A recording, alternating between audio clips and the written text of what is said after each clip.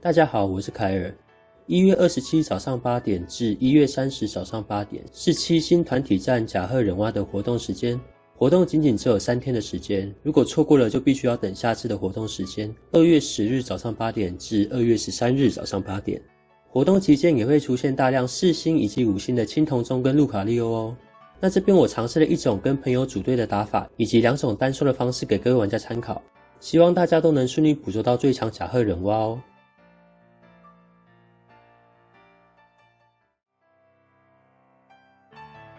这边先来说说甲贺忍蛙的设定。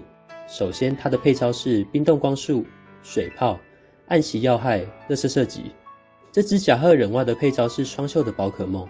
冰冻光线、水泡是特攻招式，暗袭要害、热射射击是攻击招式。然后开场会强制发动毒灵以及影子分身。时间条大约七分之一左右的时候，会消除我方所有能力变化，大约会在三回合左右的时间。消完之后，整场战斗都不会再次消除我方的能力变化。而时间条大约四分之三左右会开盾，最后时间剩下四分之一左右会放一次影子分身，而 HP 四分之三左右会消除自己不利的能力变化，HP 一半以下会使用一次影子分身，破盾后会开始一回合行动两次，我觉得难度比前两次要难上许多。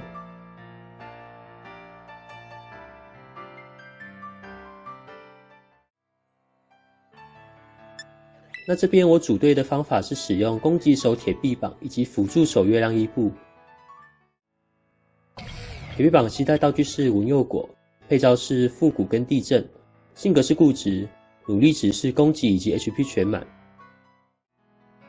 月亮伊布则是期待广角镜，配招是刺耳声帮助执泥，性格只要是加防御的性格都可以，努力值是防御 HP 全满或是防御特防全满也可以哦。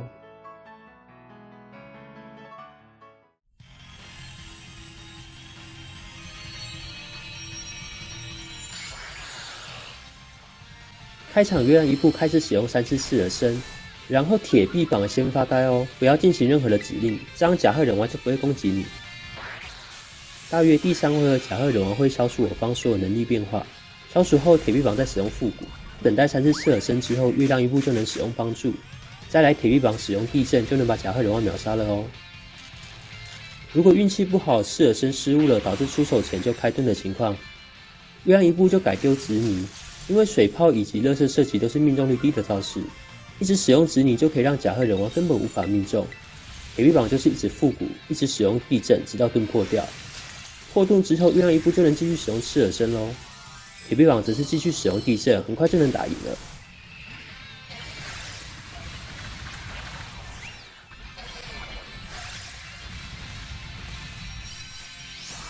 这个方法的容错率还算蛮高的。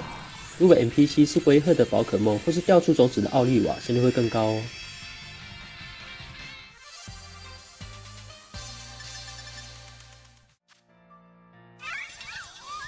再来是单刷的方法，第一个使用的宝可梦是超能焰陀，期待招式是失胜的东西，配招是琉璃冲击，只要这招就可以了。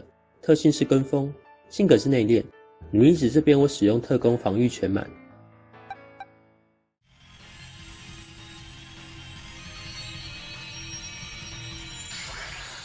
开场我们一定要洗出威吓的 NPC，否则暗袭要害攻击力会太高。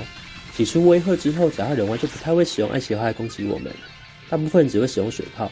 即使使用了暗袭要害，也因为我的超能焰陀是防御努力值全满加上威吓，不会受到什么伤害。而因为有跟风的特性，开场甲贺忍蛙使用影子分身时，我们也能一起提升回避率。水炮命中率本来就不太高，所以能大大提升我们的生存率。我们就一直使用流光冲击。这边可以看到伤害真的非常高，使用三次之后先别急着太进化，一定要等到甲贺忍蛙开盾之后才能太进化哦，因为我们需要快速把盾破掉。开盾之后甲贺忍蛙会先消除流光冲击的特防降低，这时候我们要有耐心的再次使用两次流光冲击，不小心被击败也不用担心，因为流光冲击的降防还在，我们都能打出大伤害。之后就是太进化使用流光冲击，两下就能把盾轻松破掉。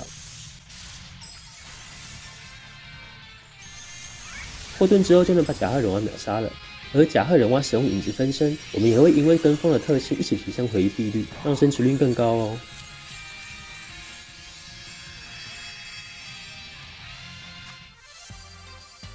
这个方法蛮多运气成分在里面，最关键的地方应该还是太金化的时机。只要快速把盾破掉之后，就能胜利了。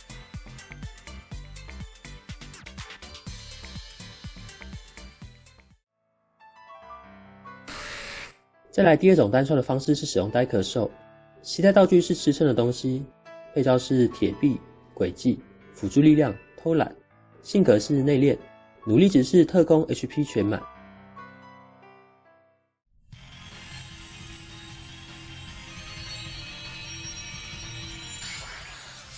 开场我们直接铁臂，降低暗袭要害的伤害。第三回合因为甲贺龙王会消除我方所有能力提升，即使放铁臂也没有什么意义。所以我们可以先使用一次偷懒恢复 HP，之后我们开始重新叠铁币。不小心被命中要害就赶快使用偷懒。叠完三次铁币之后叠三次轨迹，叠完轨迹之后使用冲冲猛攻，就能使用辅助力量了。大约两下就能把盾破掉。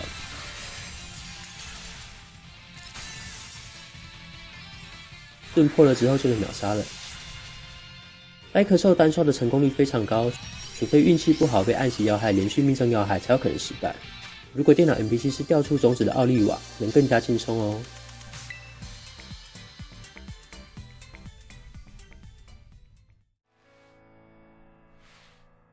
那这边就是甲贺人王的攻略影片，我的方法可能不是最好，但是是我尝试后有成功的方法，就给各位玩家参考看看。